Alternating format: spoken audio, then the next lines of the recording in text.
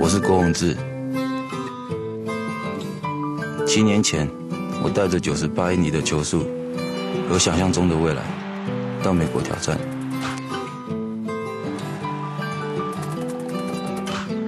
可是只投了三局，韧带就断了，一切归零。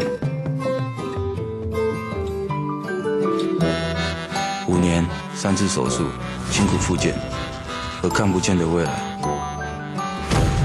当大多数的人都怀疑我的手还能像以前一样吗？我只知道，在哪里失去的，就要在哪里找回来。从九十八英里归零，再到九十八英里，只要没有放弃，就没有失败这回事。没有不可能，Impossible is nothing. I did us.